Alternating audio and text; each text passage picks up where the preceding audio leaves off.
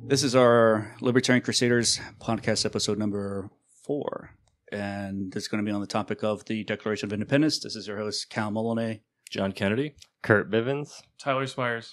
And since 4th of July was just the other day, would you guys surmise that that's also a pro gun holiday? Of course, shooting the British. Shooting the British, right? if uh, we didn't have the 4th, we didn't shoot back, we'd be speaking um, American, right? Or We would have weird accents. right. uh, yeah, it's very much a pro gun holiday, so it's kind of weird to see.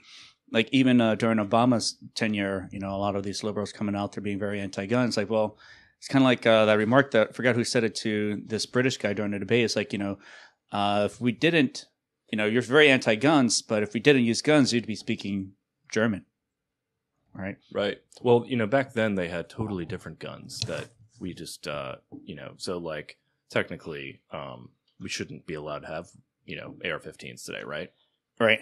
Isn't that the argument? The yeah, uh, they, they had no idea of the technology that could be unleashed with like semi-auto weapons and stuff. I saw that there was like a, a Gatling gun of some sort back then, gun. right? Yeah, that these things were kind of available. Uh, They were expensive though. yeah, yeah. What about the, what kind of air, airplanes did we have back then at these airports that Trump was talking about? Uh, the good old Battle of LaGuardia. Technically, there was air back then, and there were ports. So you know, it's not a really much of a technical fallacy. I think. I, I don't I don't quite recall what so I didn't see the exact statement that he made, but he based what did he say? yeah, something to the effect of just mentioning airports or um, He was talking about American ingenuity. He was talking there. about like technology progressing through the era from like Alexander Graham Bell to the Wright brothers and others. He did cover like 200 years in two sentences, so that's what threw some people off. there we go. Well, so it wasn't too much of a gaff or anything like that then. No, it was Yeah. just people being literal when it was more of a figurative Right. so don't always trust the memes. Go to the source. but of course, you're not going to find that in a Snopes article. They'll just kind of ignore it and say, "Mm, I don't know, maybe he did. uh, so on that day, on the um, apparently the declaration was written two days before. There's like some people saying like the July 2nd will be a day and memorial and people have all these festivities and celebration. Um, but for some reason, it's the 4th that's celebrated. Does anyone know why? I don't think it was ratified on the first day that they tried to pass it. right? So it took a while. Yeah. Yeah. Um, now this sort of time, I think is interesting because you have um, something radical for its time. I know today is very easy as like ANCAPs and stuff like that talking about, yeah, you know, uh, slavery is dumb, all right? Uh, taxation is theft, uh, and all this sort of stuff. But like back then, uh, it was a different time in which like people are putting these arguments together. People are kind of pushing to civilize further uh, things that no one's really heard much about. Uh, and I think a lot of the stuff that they're talking about in this Declaration of Independence we're going to go over is like talking about natural rights, things that are endowed by our Creator, things that are inalienable. That I don't know if any other people in history has done that kind of remark or revolt against their own government to make that kind of statement. Maybe the Magna Carta was something similar. Right. Right. It was a statement. It was a statement like uh, saying that people had rights and that the king wasn't totally, you know, dominating. That there was there was a system that the law was was applied to everyone. Right. But yeah, it, it, when we look at it through our lens, it's easy to say, uh, "Oh, you mean these these couple of guys, you know, got to sign this piece of paper, and that spoke for the entirety of." I mean, from a Spooner perspective, like uh, it, you do have to wonder, like, how much did these guys really speak for all of the colonists at the time? You know, Right. So it was a very small percentage of the col- colonists that would have supported them. It was like less than 3%. A majority of the population was loyalist and pro British until things started going further south. And then, of course, the majority flipped. or indifferent. Kind Or of like um, like during the South, uh, all the politics between the North and the South. There's people just minding their own business, doing their own stuff, and there's some guy in the South and some Yankees coming in with some bayonets, and he's like, what is going on here? He's not going to like talk politics. Like you have to respect property rights. Like there's a war now. There's an aggression. He's going to join the South. These people are fighting back. Uh, much less like whatever their politics are. You know. Uh, so I could see maybe that kind of being the case for a lot of this this over here. People being indifferent, people are shooting. Uh, things kind of go crazy during war, and people started joining up maybe uh, and towards the patriot side. for the for that and cause. people's first loyalty starts to become who's close to me versus who's far away. So Right. when you look at like the Civil War too, it's a lot of people maybe like Robert E. Lee and who said, "Well, I'm sticking with Virginia even if maybe I I don't want this war to happen. I still got to stick with my my team." Right. Because I think before this, uh, the time was uh, when it was pretty much always England versus France, and they get caught up in the uh, what the French Indian War. They could get caught up in a lot of war out there, in which uh, the British have to house. They house themselves. Violation of your your house, violation of your property, your resources. Um, it seems to be like an ongoing thing you can't ever get out of, or much less like consent to. Um, because I'm trying to understand what were like their grievances back then for them to say, okay, this this is enough, right? Um, and I know these are representatives for their for, from their states, um, and usually back then, I guess the people who passed most of the laws, people who would have much to say in the legislation or of the state would be like the upper class, right? Because it's their property that's usually being taxed. They're the ones who uh, have more of a direct relation with how the state um controls what they have versus everyone else. Uh, so maybe that's kind of why it was this few number as representatives because they're kind of matching what history has always kind of been with the upper class and the state, um, or now this time upper class versus uh, nobility. Uh, so yeah, there's uh, a lot of these people would I would say sacrificed. Uh, I mean, you think they put their lives on danger danger when they sign that document, right? Right. um, you're pretty much telling Britain like fuck off, right? And like, uh, who was it? Charles Carroll of Carrollton in Maryland was the only Catholic who signed. But um, part of the reason I think they let him sign was that he was very wealthy, so he was able to. A lot of these guys, can you imagine the wealthy people today signing a document like this and committing all this money and potentially getting themselves killed Right, for for an idea, you know, for these like high ideas, you know, right. Um, put their lives at risk, their fortunes taken away, and a lot of people did die. A lot, I think, a lot of those people who did sign uh, that document died. Um, so I guess there is a lot. That's interesting. They put their skin in the game. This is just a document. There are kind of real grievances occurring, um, and I think maybe this daring to speak out was kind of tantamount to the freedom of speech uh, clause in the Bill of Rights for it to kind of come out, right? Because I think if you do speak out like this against the British government, you would be arrested, Targeted at least. Right? Yeah, it'd be treason. Uh, so I guess you guys want to go over the uh, the first part. We'll go over some highlights here. Yeah, I can read if, if, if Yeah, you want, go for or yeah. If I would start start it off. Uh, so you know, in Congress, July fourth, seventeen seventy six, unanimous declaration of the thirteen United States of America. When in the course of human events it becomes necessary for one people to dissolve the political bands which can have connected them with another, and to assume among the powers of the earth separate and equal station to which the laws of nature and of nature's God entitle them. A decent respect to the opinions of mankind requires that they should declare the causes which impel them to the separation. So, I always I always quote that anytime I'm arguing with another libertarian about neo Confederates and Tom Woods and anybody. Right. it's always like, oh, there you go. There's our founding document. All right. Uh, yeah, I think a lot of, during this time it's mostly uh, doesn't say anything here about the United States government. All right, it just says uh, the states so far. Um, you know their own sovereignty. I don't think anything here says like yeah the federal government um, in terms of their own separation. Uh, the next part I think is, is good in that we hold these truths to be self evident that all men are created equal. Are they though? Uh, I guess in natural respect for body ownership, right? Natural rights to not be infringed. Right. Not necessarily natural abilities, but the ability to manifest a life that you can create for yourself. Right. Um, and among these rights that are unalienable are uh, life, liberty, and the pursuit of happiness, uh, endowed by our Creator, and that to secure these rights, governments are instituted among men. Well, I guess before that, that sort of just been a period, right? uh, and that's it. That's that's all you kind of needed. Um, I think uh, that kind of denotes more of the uh, natural rights that we have, um, our ability to reason what are our negative rights enumerated, you can say in the Bill of Rights, uh, right? Uh, the right to arm yourself. That's self defense. All right.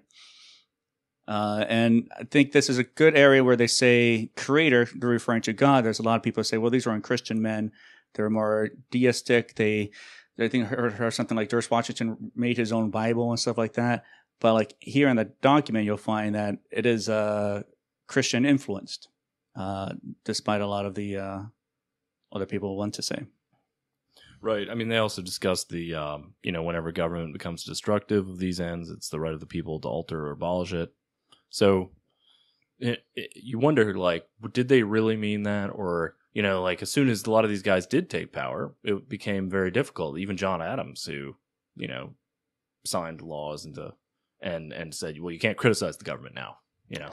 The Aliens and Sedition Act, right? Right.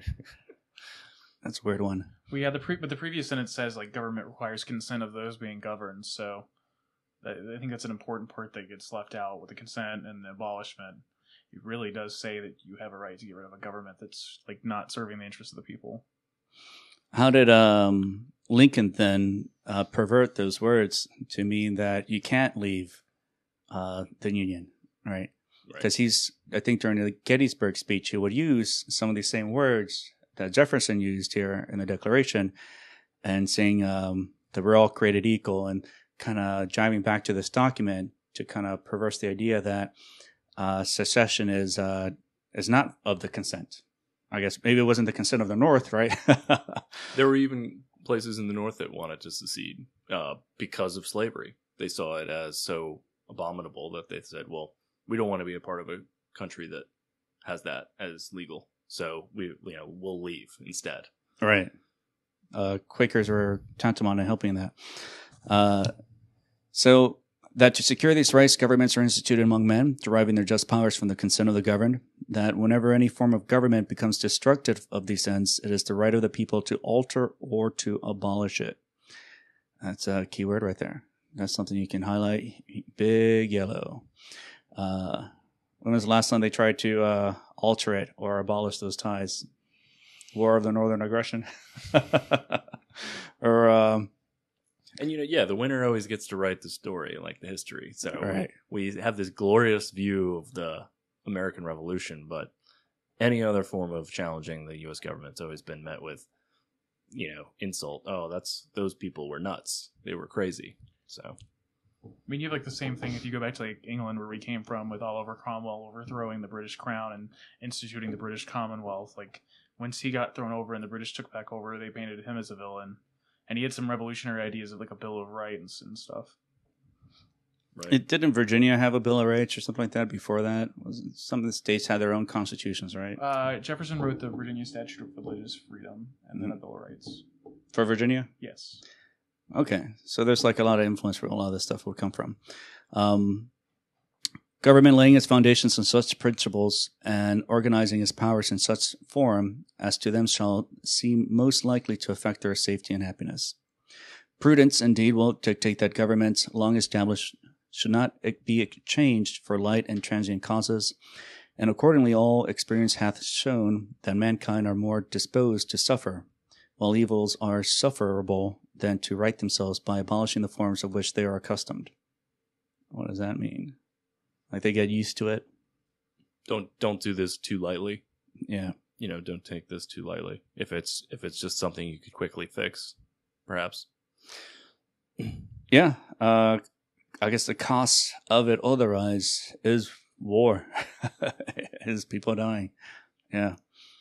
Um, when a train, when a long train of abuses and usurpations, uh, pursuing invariably the same object, envisages a design to reduce them under absolute despotism, it is their right, it is their duty to throw off such government, and to provide new guards for their future security.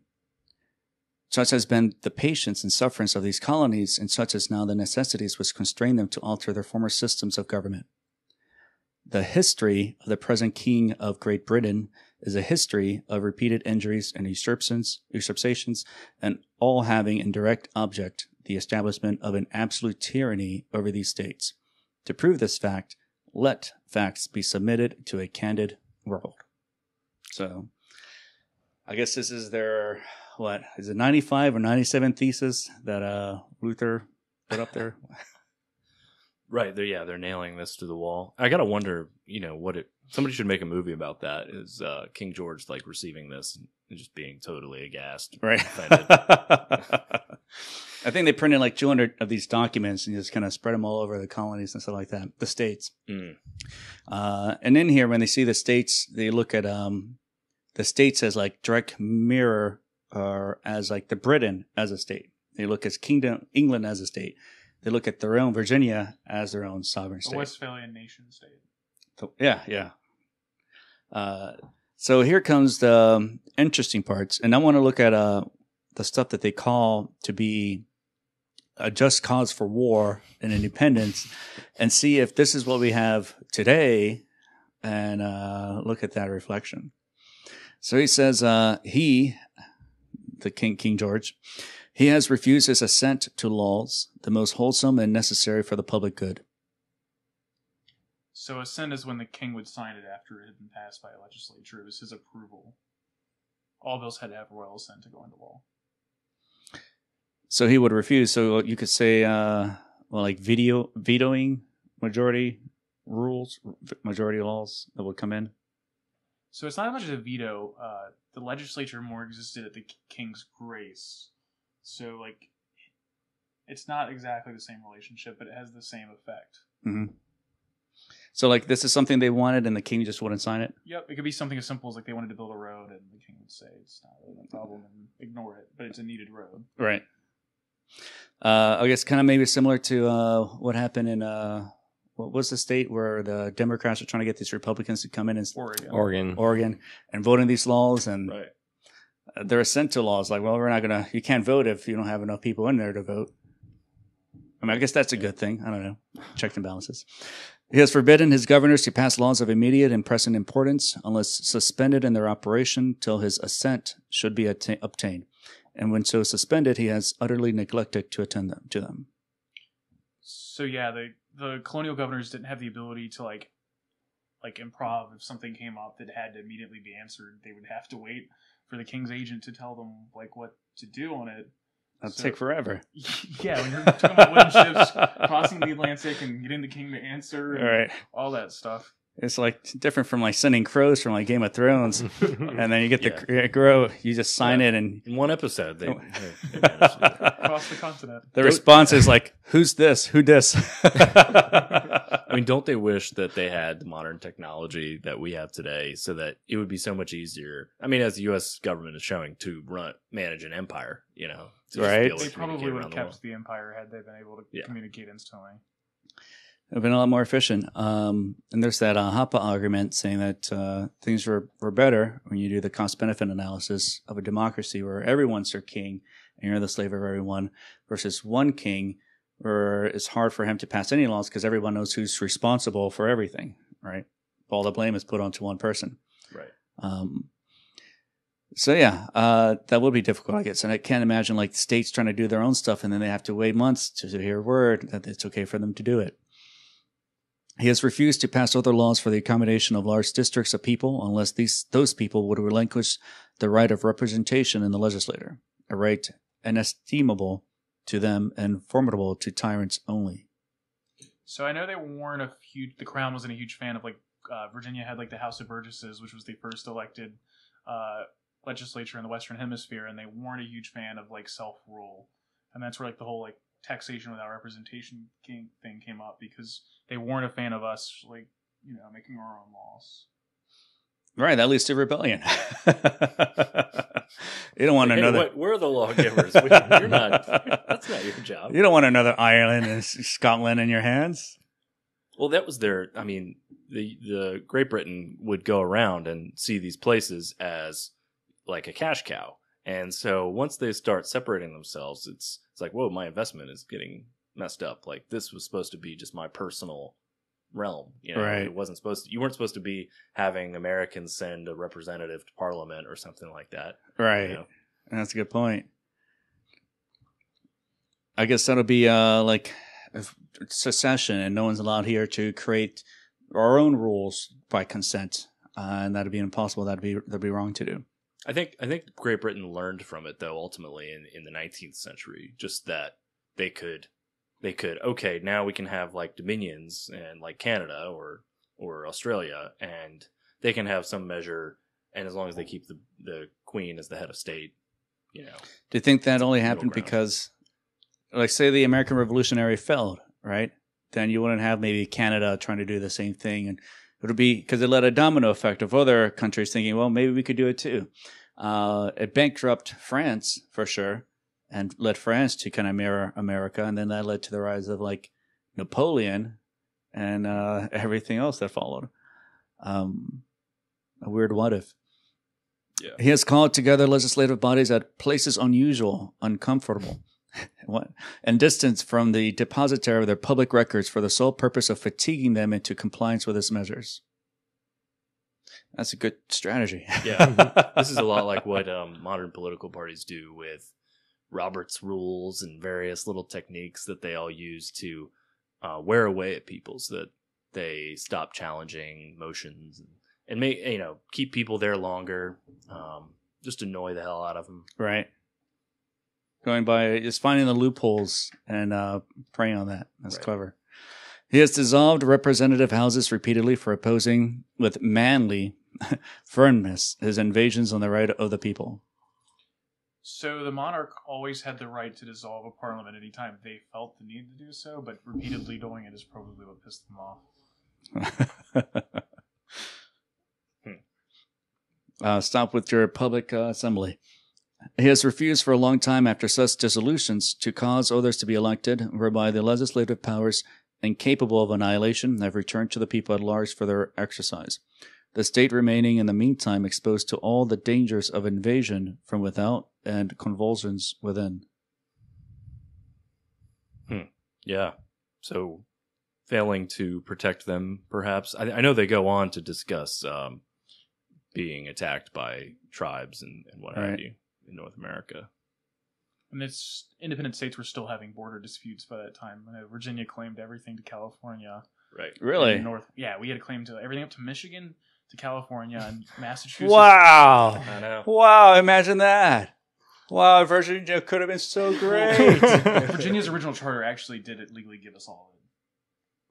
So, yeah, going back to tradition also means going back to the original charters, charters and kind of bringing that up. I don't want California. No, we, we no, we kick out the California. we cut that out. Virginians. they can have that part. Charity. He has obstructed the administration of justice by refusing his assent to laws for establishing judiciary powers.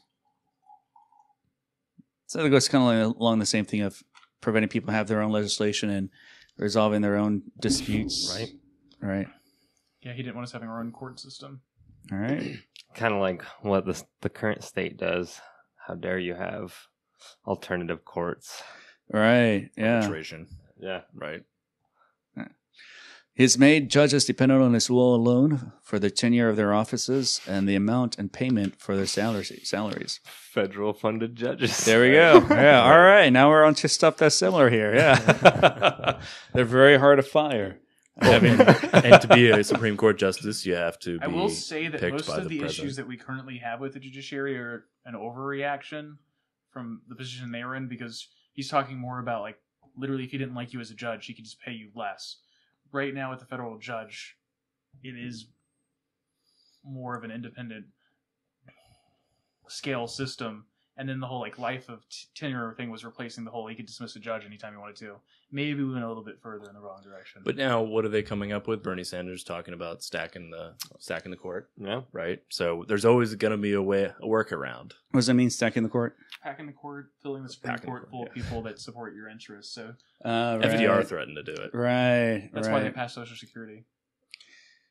Well, we got one more to go. Ruth uh, Ginsburg. So, see how that works out. Ten thousand years of darkness. He has erected a multitude of new offices and sent hither swarms of officers to harass our people and eat out their substance. What is that? so that that's sounds like the federal stamp. bureaucracy. yeah, that sounds really annoying. IRS. That sounds like a city council. Um, The Okay. police. yeah. Wow. Uh, he has kept among us in times of peace standing armies without the consent of our legislators. Yeah. It's amazing when to think about the way that the founding fathers thought about standing armies and then to look at today and just look at the police. Never mind, never mind the military, but just look at the police and uh, think, wow. That's like What a would they standing think? army right now. Yeah. Wow. Well, almost every federal agency has a SWAT team. like- NASA's looking to buy some like rifles. what is going on? What on? does NASA know that we don't know? Space Force. Never revenge on the bugs. I mean, there's no ban on of space. There's no ban on space forces in here, so I mean that seems fine to me. You know, Yeah.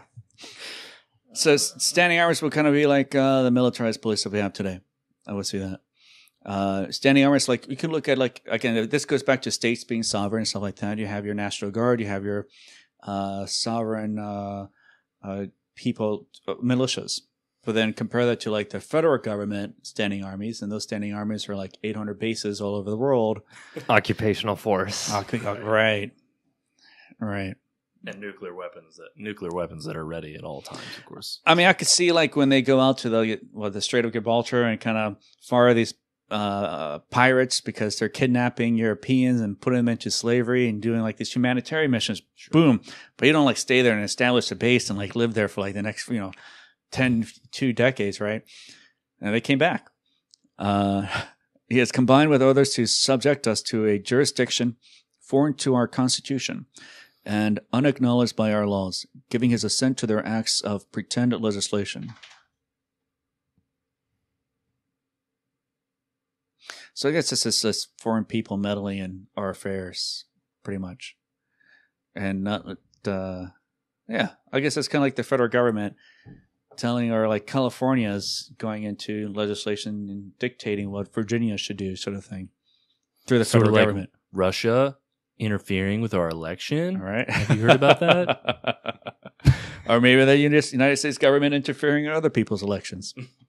That's different. It's okay when we do that. Haven't you learned? Manifest destiny. For quartering large bodies of armed troops among us. Yeah, I don't even like the people I live with voluntarily, so I would not be cool with that either. Which one is that? That's the Third Amendment uh, to be Quartering soldiers. quartering soldiers, My think so. right? I, th- I think that one, in a way, kind of you can deduce from that saying that you have a right to privacy, right? You have a right, uh, like a man's house is his own castle. Uh, he has a right. No one has a right to kind of invade that or interfere with that or violate that kind of property.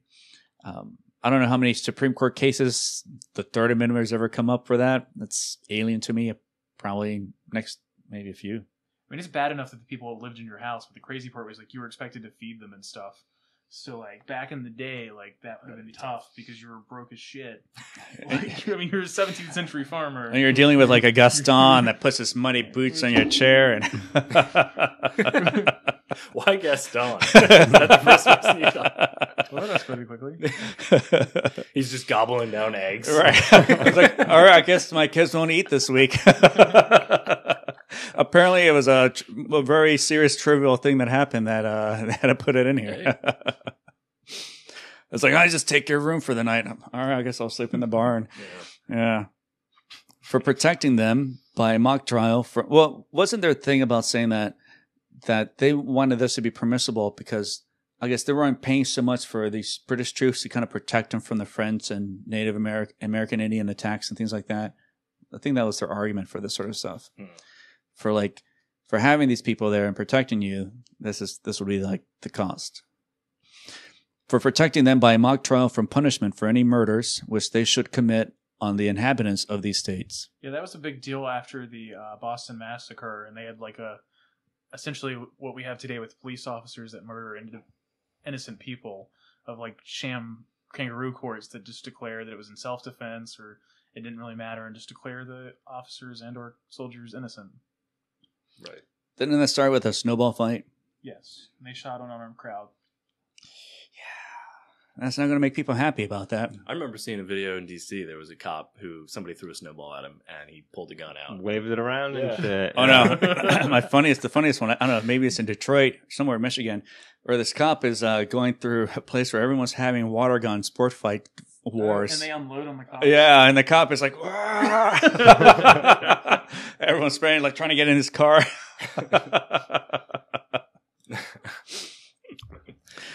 um, for cutting off our trade with all parts of the world. So Britain at the time had a mercantilist system. You actually had to buy all of your goods from Great Britain. So even if like France and other places, like even the Caribbean, you had to buy it through a British intermediary that would charge you out the ass for it, so that you could then buy it in America.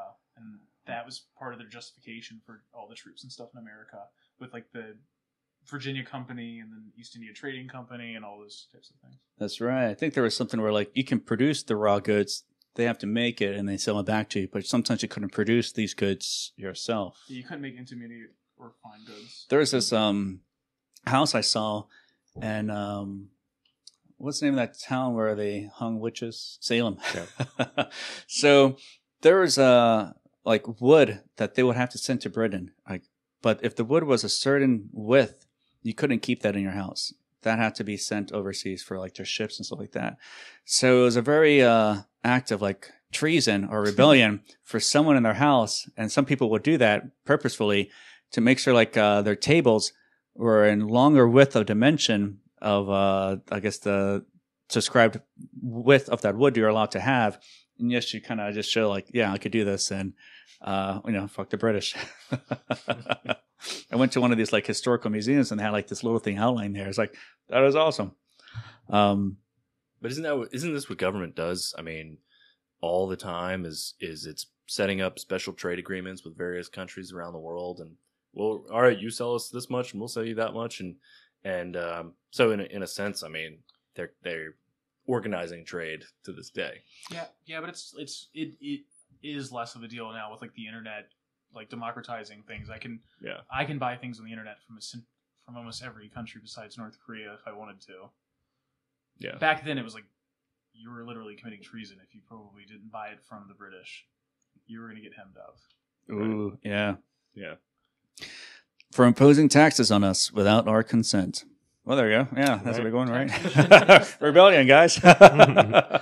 And then, yeah, what is one of the first things George Washington does? Is the whiskey rebellion? Think like 25% tax on whiskey. Ugh. Daddy had to come beat us with the belt. It's bad behavior to drink alcohol. yeah, I guess that, that kind of took uh, worse for wear there and a weird turn in that direction. Um, and what were taxes back then? Were like like one two percent? wasn't even that high. Yeah. What would they think of today? Income tax? Where do I see that in the Constitution? That's how the income tax started, right? All right. Just uh, oh, this is just going to be on the rich. Technically, there's no law that says you have to pay income tax. Uh, I, w- I looked up this video. of This guy who I've got a book. We can do it. I've got. Um, Okay, Irwin Schiff. I have an original copy of Irwin Schiff's book, The Great Tax Hoax, with his uh, with original newsletters from the 80s in it. You too can go to prison and die there. Strapped to a gurney. Yeah. Wow. Well, for depriving, de- depriving us in many cases of the benefit of trial by jury. I guess during this time, this is a high trust society. You know your family, you know the people in your community. And some other places, like, I don't know these people. I don't know if I want to gamble with. Uh, Yeah, just because a mob votes to make you guilty, I'm not sure I would feel better about it. Yeah, plenty of uh, plenty of people who are charged with stuff will just ask for a bench trial, right? So right. Sometimes it's better. During Prohibition, it was good because a lot of them were just, tr- you wanted a trial by jury and they all just said not guilty. There was one in which they just drank the evidence in secret when they kind of, they would say, like, well, what's the evidence? Like, well, okay, here's the evidence. Like, we want to see if there's the evidence of him violating pro- Prohibition. And so they deliberated. They came back and said, yeah, where's the evidence? Lost in a boating accident. not guilty. well, also this presents an opportunity for nullification, which would enable you to have your friends get you off, even if it was a legitimate charge. And Right. it was probably true. You could still have Whoa, people in you your shouldn't town. use the word legitimate charge. Just because something's a charge and you did it doesn't make it legitimate. Well, like you know, if you actually did it, right, and they have uh, overwhelming evidence against you, and My It's a favorite victimless crime, virt- but if it's a victimless crime, then right, yeah, Right. yeah, then My your favorite jury just says he's not guilty. My favorite lawyer from Tennessee has a sign that says, "Just because you did it doesn't mean you're guilty." Nice. That's, a good lawyer. the kind of lawyer you want. Yeah. For depriving us in many cases, well, I already said that. Uh, for transporting us be- beyond seas to be tried for pretended offenses. Huh. Well, I guess that kind of enumerates the, the rest of these. Well, so they did just uh, take these people overseas to try yeah, them? put you on a boat, take you back to England, put you on trial. Wow. Or they, or they would say that you're a British sailor that deserted and just bar you for the rest of your life. Oof. For abolishing the free system of English laws in a neighboring province, establishing therein an arbitrary government and enlarging its boundaries so as to render it at once an example of fit instrument for introducing the same absolute rule into these colonies. I think that's talking more about Canada because, like, in the American colonies, they had set up more of their own different types of government. With Virginia having its own like legislature, and Maryland having that Catholic thing they had going on, and then the Puritans running Massachusetts. I, I do think Can- Canada had always been more centrally ruled. When did uh, Britain take over Canada? When they lost the war with the French or something? Is that? No, they beat the French in the French and Indian. Yeah, yeah, yeah. That's right. And then they allowed French culture to stay there and just made a they mess didn't of it. allow later. them to stay there. They kind of forced them into specific areas, safe zones, safe spaces. Ah, nice. There we go. they kind of look down on anybody that comes from outside of that culture if you wander in there now. right? Yeah. Yeah. Well, it's just to show that multiculturalism this doesn't work. For taking away our charters, abolishing our most valuable laws, and altering fundamentally the forms of our government.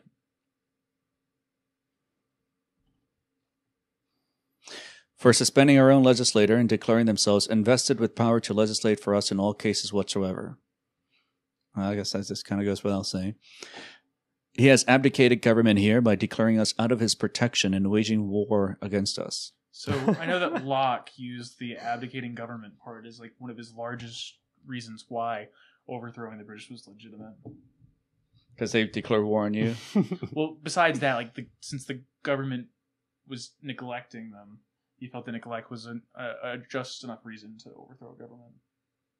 There you go. Yeah. There does seem to be here's a here's a alternative argument that there seems to be a lot of complaining that we're trying to get stuff done over here and he's not allowing us to have you know laws or participate in government.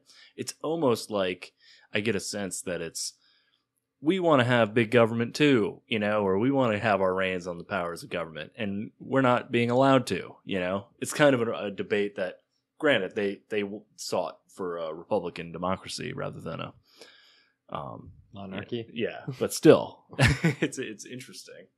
But like, say in Capistan, we have our own town and stuff like that. How would we draw up our own charters, right? And I imagine we, if we all live in the same community, we'd give consent to this kind of stuff together, and it would kind of mirror a lot. You can say like uh, the way a private company runs a gated community, a golf course community, or something like that.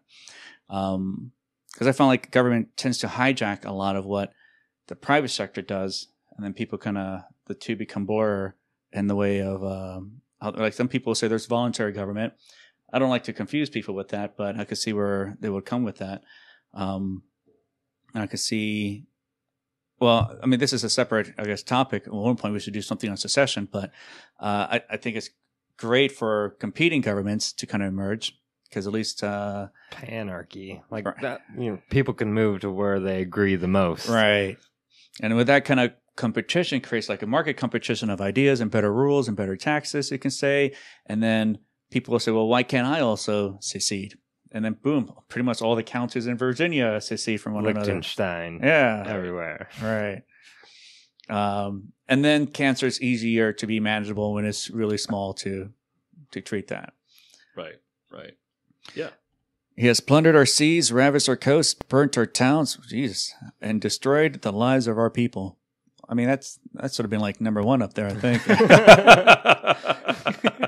I remember this happening to a group of people around 1865 between like Atlanta and like Charleston, getting all their stuff burned.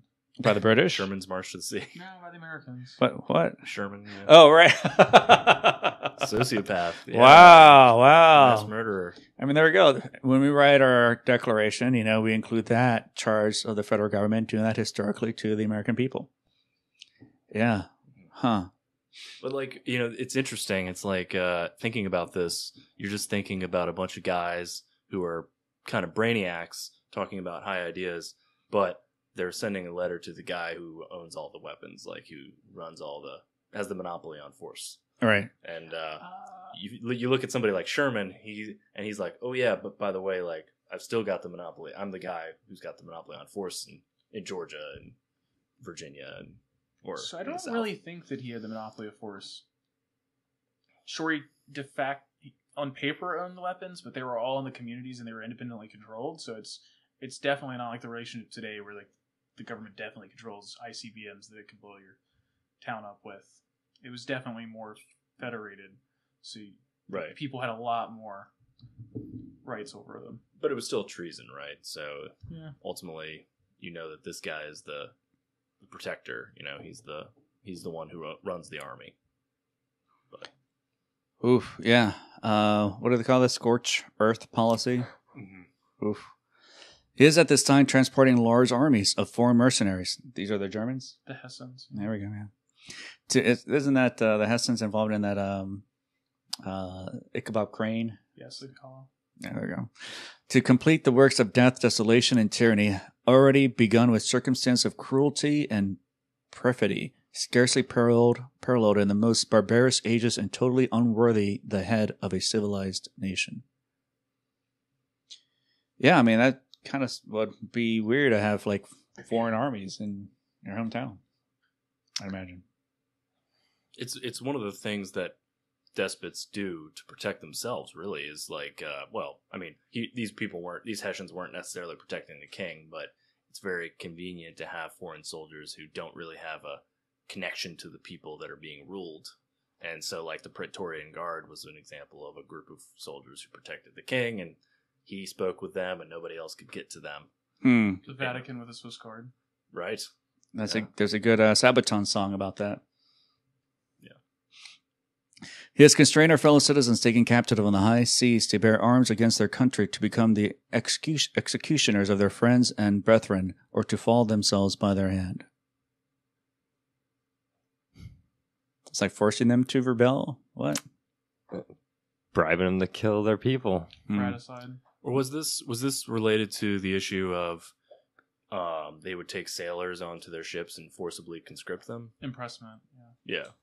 Is that like uh, Shanghaiing them? I think that came later. They would literally go on the ship and they would ask you how to say specific words, and if you said it the British way versus the American way, they would drag you on their ship and say that you were British, Oh, wow. Huh. which is crazy because it wasn't that much longer after like the colonies had been founded. So you better hope you say it the right way. oh, wow.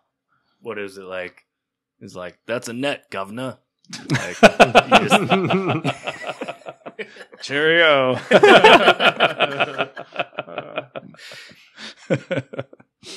His excited domestic insurrections among us, and has endeavored to bring in inhabitants of our frontier, the merciless Indian savages, whose known rule of warfare is an undistinguished destruction of all ages, sexes, and conditions. Yes, the king was totally about winning, regardless of uh, whatever means he needed to win. So he would totally use the na- native population, like he did with the French and Indian War, to defeat him if he needed to. Yeah. There's a lot of sculpting involved with that. Uh, yeah. In every stage of these oppressions, we have petitioned for redress in the most humble terms. Our repeated petitions have been answered only with repeated injury. A prince whose character is thus marked by every act which may define a tyrant is unfit to be the ruler of a free people. Wow, that's uh, that's gotta hurt, sting when you read that. You know, like the king reading that about himself. are this are those all the addresses? That is, that's all the grievances. So it seems like most of them seem to be uh, against uh, militarization. Most of this seems to be more against the uh, British military and their involvement with their day to day lives and their neighbors, the Indians, and kind of putting them into like weird places they don't normally want to be in. Um, and a lack of consent. right. That and the whole like I want to I want to control the levers of power. Right. I mean, yeah, I, I do get that sense. It's like meet the old boss, same as the new boss. Like, uh, you picture Alexander Hamilton getting involved in this and excited and can't wait until he's he's involved and getting uh, his hands all over the you know the treasury and central banking and Yeah, I do think it's important. At this point, they weren't sure that they were going to break away yet until they did pass it, and then they weren't sure what the government that they were going to build looked like. It could have been a monarchy. It could have been a republican government. They they really weren't sure yet.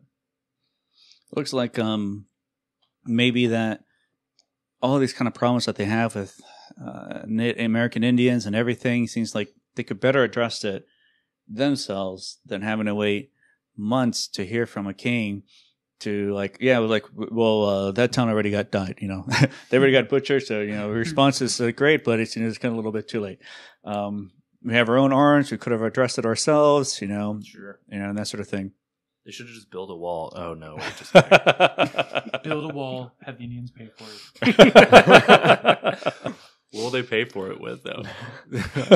Lambskin Scalps. Or, what is it? So the uh the well, I mean, the rest of this here says, uh, "Nor have we been wanting in attention to our br- British brethren. We have warned them from time to time of uh, attempts by their legislator to extend an unwarrantable jurisdiction over us.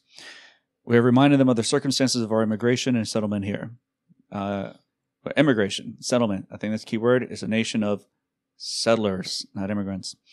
Uh, there's nothing here before that. I mean, yeah, some tribes, but I think most of them kind of were wiped out by diseases, and it wasn't like, well, anyways, separate topic. We have appealed to their native justice and magnanimity, and we have conjured them by the ties of our common kindred to disavow these usurpa- usurpations, which would inevitably interrupt our connections and correspondence. They too have been deaf to the voice of justice and of consanguinity. We must therefore acquiesce in the necessity which denounces our separation and hold them as we would as we hold the rest of mankind. Enemies in war and peace, friends. You want to finish off? Yeah.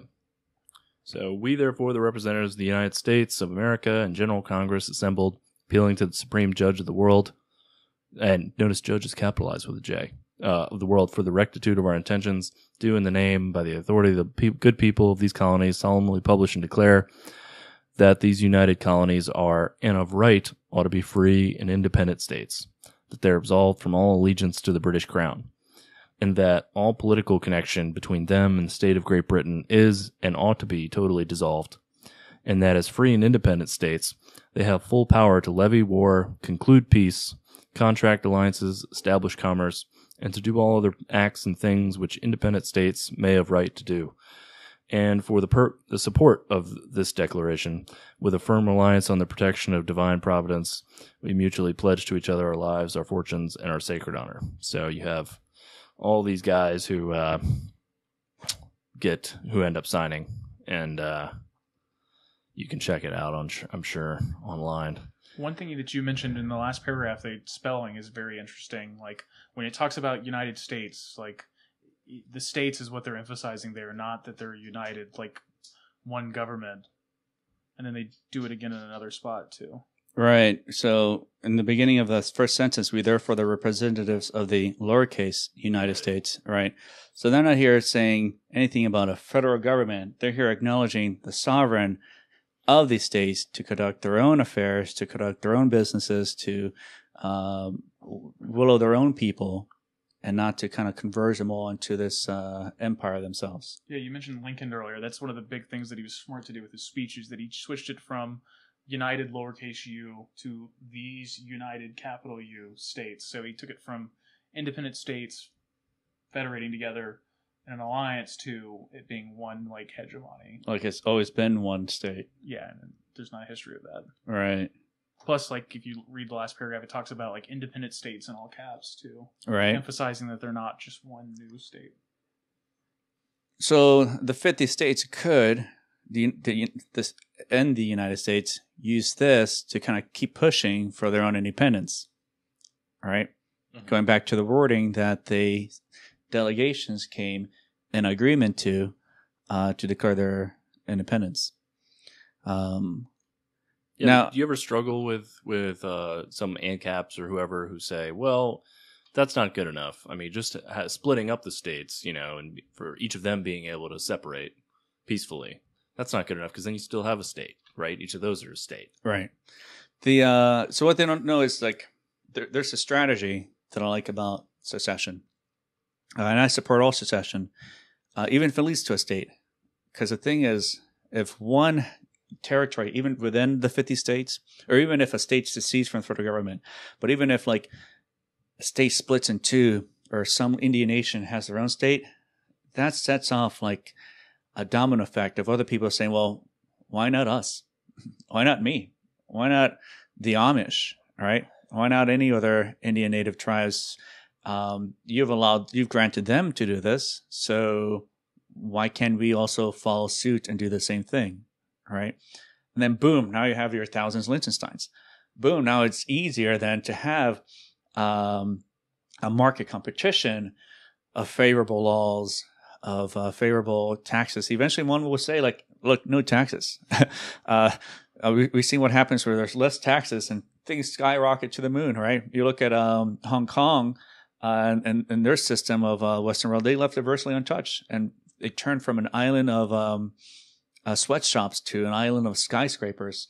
And they always talked about like, well, what if we don't have natural resources and we have to, you have it, so we're going to have to come and take yours. Like Hong Kong has none. Neither does Japan. Right. Minus some dark periods of time, they've traded for it. Right. Yeah. so any place could technically, but it's usually just like the policies that they have, um, and more in the direction of free markets um, and individual freedoms that they find a burgeoning amount of success and, and progress. Um, so I think that's something people don't see. They think like you just want to establish another state. They don't see the effects that would could have would would, would have Right. when if that's ever allowed to be permitted. I think it's weird that I mean, like the the Amish, what they don't have to pay Social Security taxes. All right, they're allowed to take their kids out uh, at the age of like ten or twelve or something like that. I think maybe even younger. Uh, they have they enjoy interesting privileges uh, to avoid themselves from the state. That I wonder, like, why can't we also enjoy the same thing? So that's the strategy of secession that a lot of people don't see the bigger picture of it. They kind of are kind of narrowed, scoped within that. Uh, that it leads to more secession movements and it leads to more inevitably to the kind of freedom that we want. I mean, it's it's a one form of strategy. There's a lot of different ways. They say, well, if the um, the dollar collapses, well, then you have secession again. If uh, people if you let Oregon secede, well, great, you have more secession. There's different ways to kind of go through that, and that's just one path that kind of leads to the same direction that we want to go. What do you think of secession? Oh, I'm very pro secession. Right? Yeah. But More you, choice is always better. yeah, Right. But you look at the U.S. here in this instance, though, and you know what did you see but a consolidation of power after they seceded from Great Britain? So ideally, people like Jefferson would have been listened to, and they they would have been their ideas would have won the day, and then he would have essentially said, "Yeah, these are all independent nations." I mean, it seemed like what he was going for, but Right. That's why, uh, as I was telling you earlier, I celebrate um, Articles of Confederation Day. Uh, it's, I think, is a great document. Uh, didn't particularly work well for the federal government or much to their sides, Was that a unfortunately. Right, no, right. I think that was a great thing. What's weird though is that people look at George Washington thinking that he's credited for like creating this terms of office, like, well, all right, that's enough of me ruling. But technically, there were eight other presidents before him under the Articles of Confederation, and they all chose to just do one year of term in office. And so they're the ones who started the the ritual of doing unlimited terms until like FDR came in and just commied everything up. Um, but yeah, so I guess this leads into, of course, the American Revolutionary War. Was it worth it? Uh, I definitely think that it was overall worth it. It moved the ball in the right direction, and it did lead to some. It was a more positive revolution if you compare it to places like France that tried it. Did not go well there. Well, you see, like the reason France Revolution occurred is because they got bankrupt funding the American Revolution. They were so sour against England that they wanted to give them a black eye so hard that they bankrupt everything, uh, and led to all this uh, chaos that ensued there in the French Revolution, with uh, tens of thousands of Catholics being murdered too because they wouldn't give their allegiance to the state. People don't even talk about that, um, and then led to this vacuum of where Napoleon comes into charge and just kind of dominated all of Europe. Uh, So was uh, the American Revolution the first Vietnam? ooh, Because uh, you know, They- French funding us, right? then, Yeah, uh, getting overthrown. They're sending their navy, which would have, was instrumental, right. right?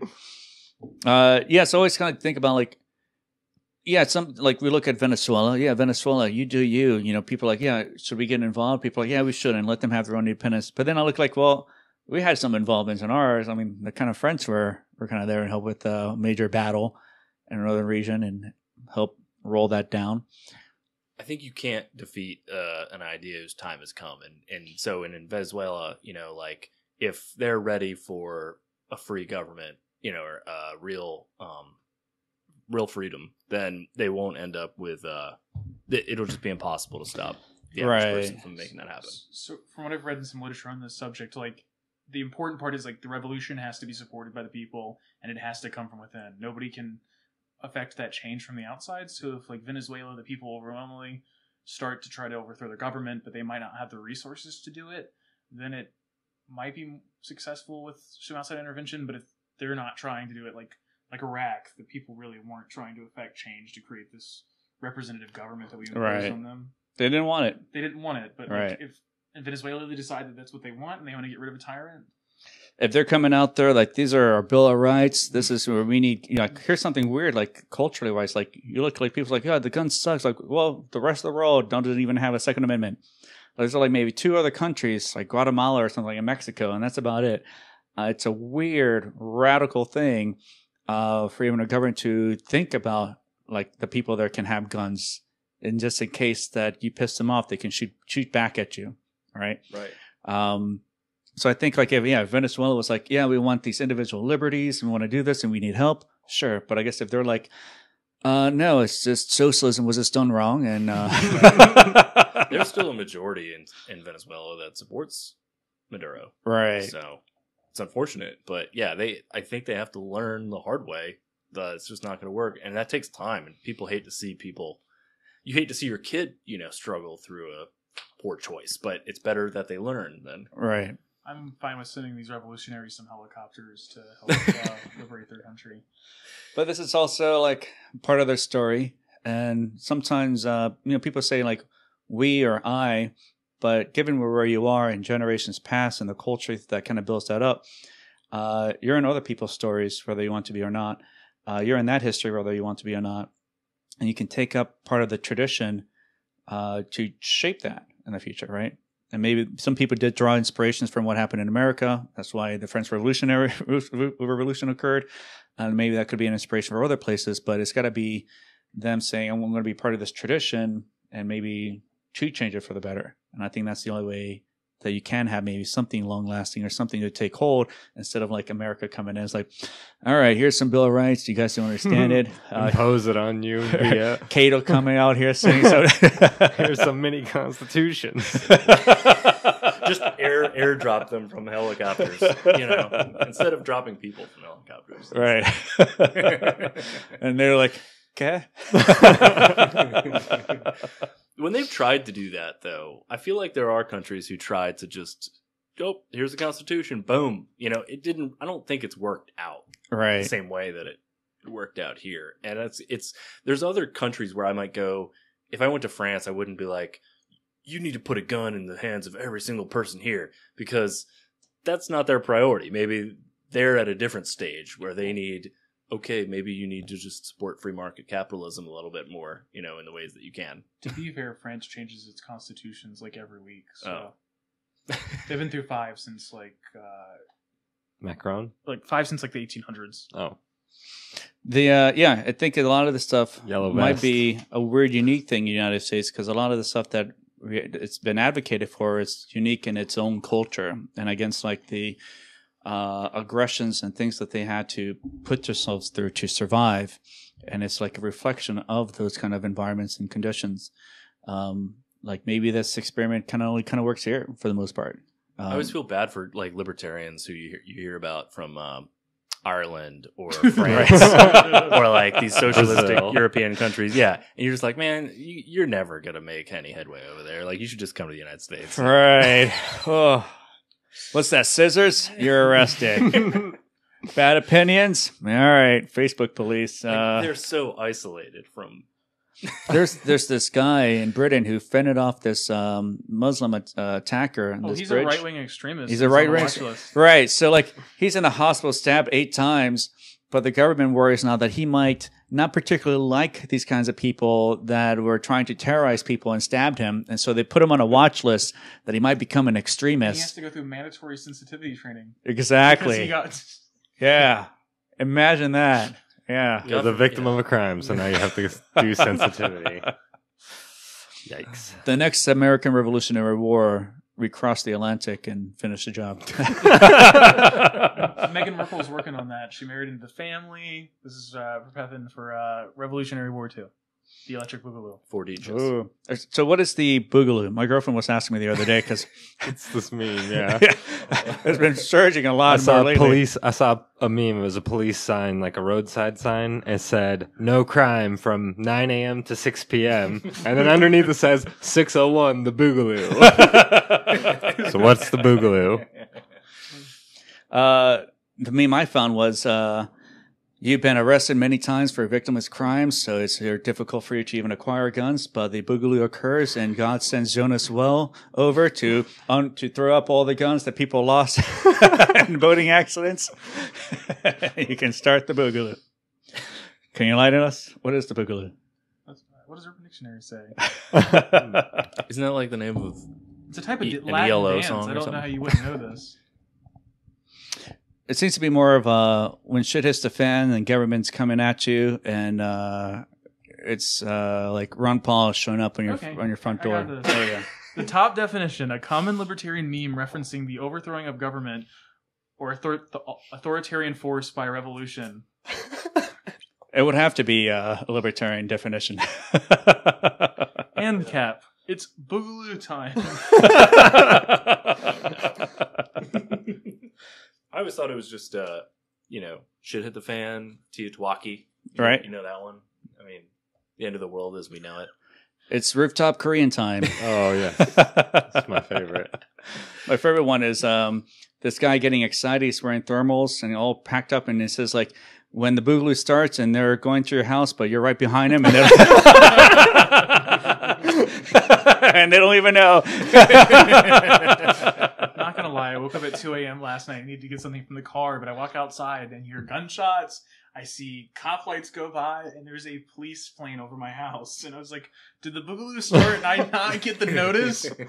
What have been like in like the American Revolutionary times, where like, like people are like, "Well, shit, there's a war." It's like, Right. It took I I live mean- in the middle of nowhere. I, I would have no reason to know about this. Right, yeah. It's like uh, uh, there's no crows at this time, you know. This uh, Two lanterns in the in the lighthouse. right. You have some guy yelling at two o'clock in the morning. Revere. Paul Revere. British are coming. Well, we're British. All right, I don't understand. Like, what's going on? Because it can't say like everybody knew about this declaration, what's happening.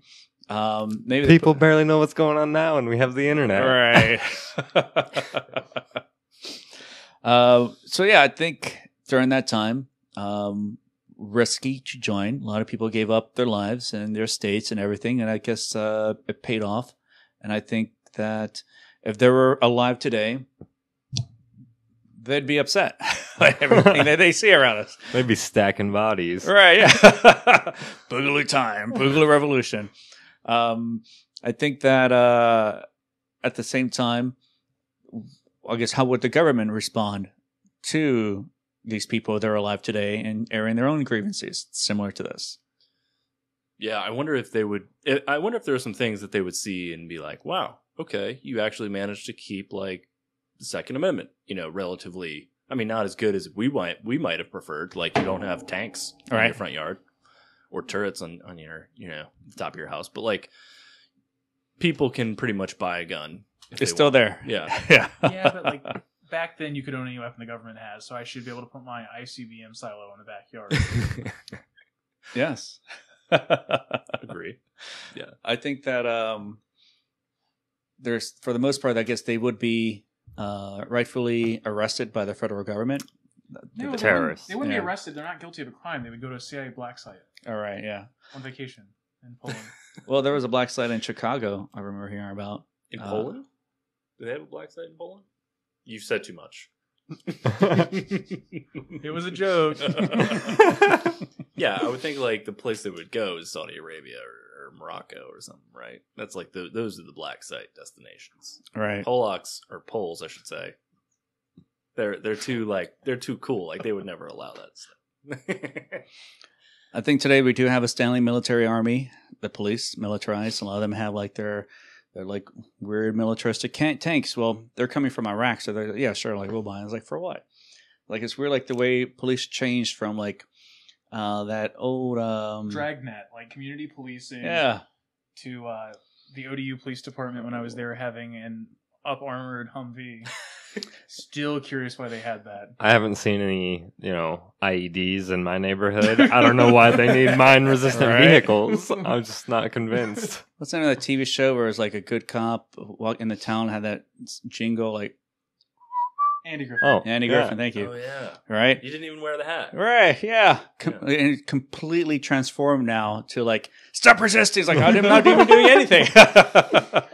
I saw one video. This guy is in his car, and he and the cop's like, "Why does it smell like weed in here?" And then he just pulls out his gun. It's like, dude, it smelled like weed. You, it's, not like, it's not like that's like the smell of a bomb about to go off. I think that drives an interesting good point that uh, even like in the government eyes and even our eyes, like in this area, maybe because of the oceans, we've never really been invaded except for our own government, but uh, we haven't. We've really enjoyed a great centuries of like peace, where there's really that much not much adversity except for whatever some people want to imagine uh, having like these weird race wars within themselves, but it's a great time. You can you can do whatever you want here, and government also then has to create their own adversity here to kind of justify this sort of stuff to make it seem like this is still like a struggling time and era here for for everyone. But you know, if you turn off your TV, don't look in Facebook, and just do your day to day thing, like you really don't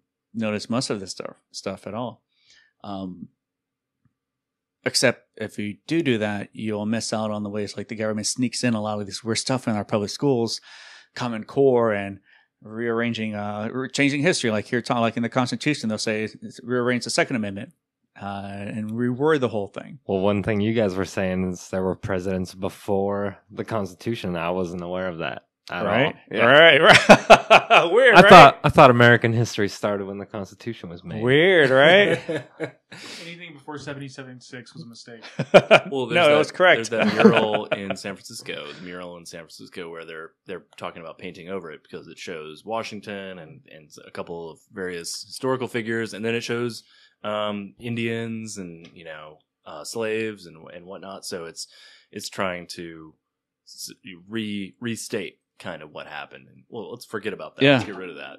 What's like the Betsy Ross flag hate symbol that has recently come up? Right.